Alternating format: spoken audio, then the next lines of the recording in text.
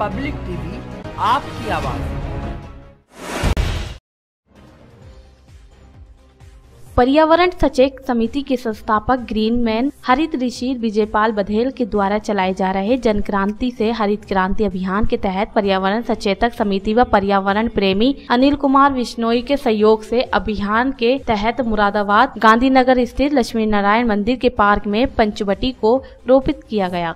पंचवटी रोपण की शुरुआत पर्यावरण प्रेमी अनिल कुमार विश्नोई, पर्यावरण सचेतक नेपाल सिंह पाल, जिला अध्यक्ष प्रदीप कुमार सिंह, जिला महासचिव युवा चिंतक शुभम कश्यप आदि ने संयुक्त रूप से दिव्य वृक्ष का पौधा रोपित किया। इसी क्रम में पर्यावरण प्रेमी अनिल कुमार विश्नोई ने कहा कि पेड़ों की रक्षा करने के लिए दो सौ छियासी वर्ष पहले राजस्थान में तीन स्त्री और पुरुषों एवं बच्चों ने पेड़ों की रक्षा हेतु अपने प्राणों की बलि दे दी थी। इसी क्रम में पर्यावरण सचेतक समिति के मंडल महासचिव नेपाल सिंह पाल ने कहा कि पर्यावरण सचेतक समिति विश्नोई समाज के बलिदान स्मृति दिवस पर देश में जगह जगह जगह पौधा रक्षक की भावना से पौधारोपण कर रही है। साथ ही उन्होंने कहा कि क्योंकि हरे पौधे प्रकृति में ऑक्सीजन की फैक्ट्री है तो इनकी संख्या बढ़ानी चाहिए।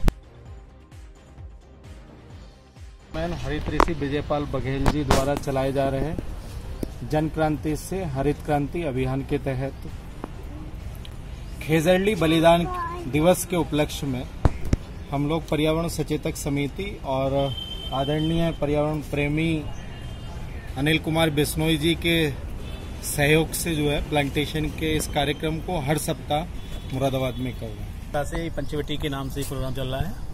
इससे पहले भी चार पाँच पाँच प्रोग्राम हो चुके हैं, जिसके अंतर्गत नीम, पीपल, बरगद, जामुन बेलपत्र के पौधे लगाए जा रहे हैं। और आज चुके विष्णु धर्म के तीन सौ तिरसठ स्त्री पुरुष बच्चे जो आज आज के दिन ही तीन सौ, लगभग चार सौ साल पहले वृक्षों के साथ निपट कर कट गए थे। उनकी स्मृति में वृक्षारोपण किया जा रहा है और भी शहर में कई जगह किया जा रहा है। इनके याद स्मृति दिवस के रूप में हम इसको मना रहे हैं आज। और ये हर साल ही प्रोग्राम इस तरह से मनाया जाता है।